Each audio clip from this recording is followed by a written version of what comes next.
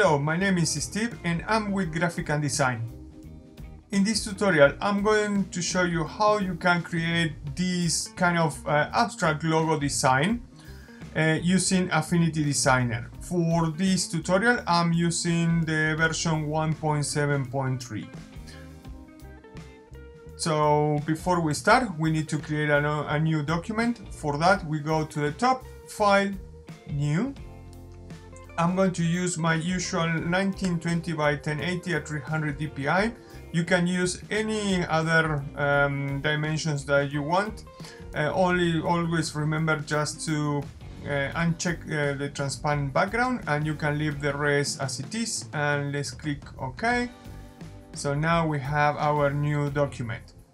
Okay, now before we start, let's go back to our view and make sure that you have selected show guides, show rulers, show context toolbar, and show toolbar.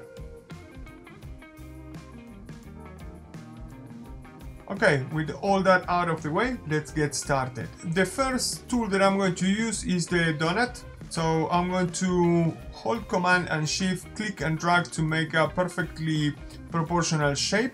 I'm going to release, then I'm coming here to my transform uh, tab. Make sure that you have selected that icon that actually links both the width and the height and I'm going to click and drag and I'm going to change it to uh, 230 and then come in here to this tool and I'm going to create a semicircle now what I'm going to do is I'm going to create a rectangle and the rectangle uh, I'm going to snap it there. A second. I'm going to click and drag and I'm going to release there it's fine don't worry we are going to um, change now the size. So I'm going to click that one to actually uh, unlink the width and the height and on the width I'm going to select 730 pixels. Now I'm coming here and I'm going to actually make a snap there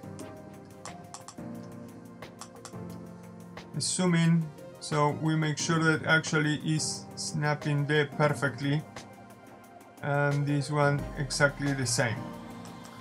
Good now that we have that one what I'm going to do is select my uh, move tool. I'm going to hold alt click and drag to create a copy and I'm going to snap it snap it perfectly there.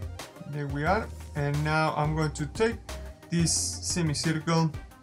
Again hold alt click and drag to create a copy. Now you can release alt and I'm going to here to my transform tool and I'm going to flip it horizontally and I'm going to snap everything there. Perfect. Uh, let me see. There is no gap.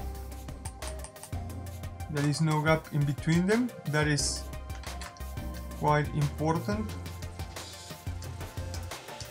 So then we have the idea is that we we should have an entire shape. So to do that is uh, somewhere here uh, at the corner I'm going to click and drag to select everything and now I'm coming here to my geometry and I'm going to click add. So now we have an entire shape.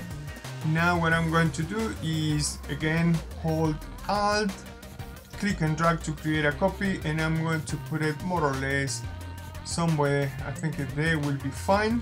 What I'm going to do is click and drag to select both come into my alignment tool and I'm going to make sure make sure that you're using last selected and the both are actually in the middle and I'm going to actually group them. Now I'm going to hold uh, alt click and drag to create another one. Now you come to the transform tool at the top rotate 90 degrees. And now we need to make sure that everything is centered so come into the alignment and you click on the center and horizontal and vertical so now both are exactly uh, center I'm going to put it somewhere there and I'm going to make it a little bit smaller. I think they will be fine. Perfect. Now we need to start working with this. So I'm going to ungroup and ungroup. Okay. Now I'm going to select all of them and I'm going to give them a color. Something like this will be fine.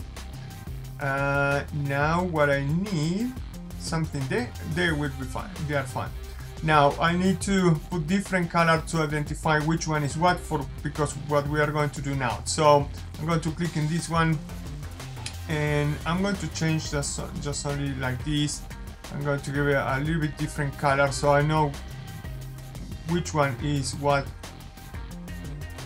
on the whole scheme. Perfect. Now that we have that, we need to start making that interlace effect in between these ones. To do that, what we need to do is we need to actually cut some parts of each one to give that uh, effect that is like a weaving, um, yeah, so, something like that. Anyway, you, you will see now. So what I'm going to do is I'm going to select one, shift and select this other one and now you come here to ge geometry and click divide so I'm going to do exactly the same uh, for all of them. So then you come this one and this one divide this one and this one divide and this one and this one and divide. So now you'll see there is all different small little parts. So now is let's make one on the top and one to the bottom, top, bottom. So if this is to the top, I need to select that one and delete, select that one and delete. And the next one is going to be opposite. So this one, I'm going to choose that one and I'm going to choose, choose this one. And this one, I'm going to do it like that and like that and then like this and like this. So basically we have top, bottom, top, bottom, top, bottom, top, bottom, and then top, bottom, top, bottom, and so on and so forth. Good. Now we need to create all these, needs, each one of these shape needs to be one. So what I'm going to do is I'm going to use my node tool, come here to my tools. I'm going to click and select those ones. Hit, uh, hold shift, click and drag until you are more or less on top I'm going to do the same for this one click and drag sh hold shift and drag and I'm going to do the same with this one I'm going to select those one click shift drag this one the same thing shift click and drag and there we go. Now what I'm going to do is I'm going to select all these ones that are the same color and let's make them one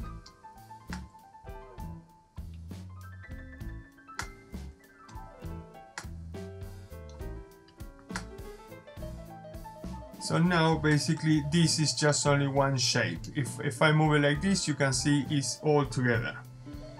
Uh, let's undo that. So I'm going to do exactly the same for all, all the rest. Click this one, shift and drag there and top bottom so should be this one click and drag there and this one should be top so opa click and drag holding shift and this one exactly the same thing.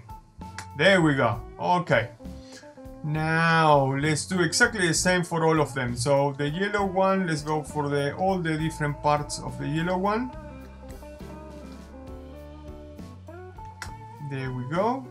So make sure that all the yellow ones are selected. Geometry. So now we create one. Why is that one there? Oh, look at that. I forgot one. So now everything is the same shape don't forget anything. Uh, the color that we give it a, a, different color allows you also to see here on your layers if you forgot or you're missing one. So I'm going to click there. Also what you can do is you can select them all from there and click on add.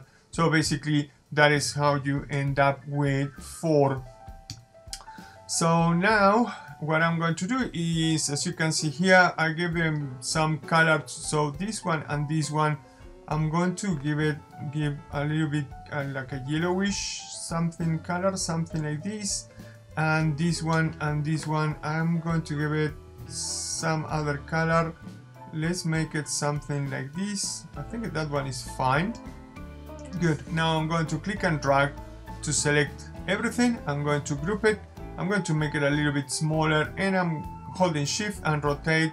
So we gave a 45 degrees and you can make it a little bit smaller again if you want. And obviously then we need to put uh, some text for the name. Uh, in here what I'm using is called uh, Monoton I think this font um, you can get it from um, Google Font I'm, I'm going to put the link uh, to that font if you want to download it or if, if you bought I think it comes with one of the packages of the free packages of uh, Affinity Designer.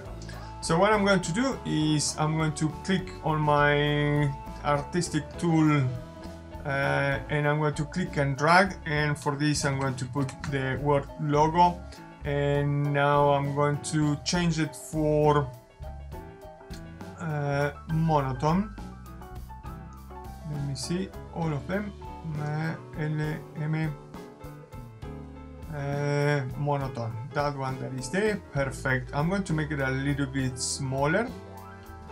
Okay now what I've done uh, with this one let, let, me make this it's more or less the same size.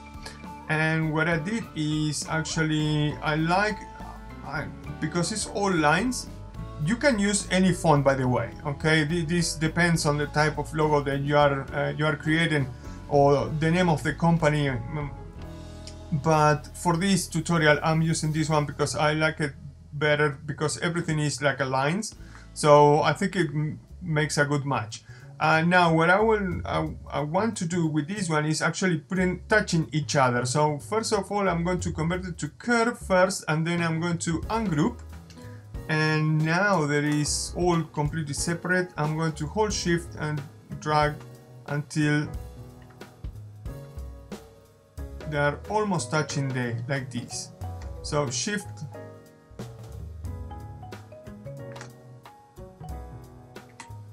And I'm going to do the same with the O here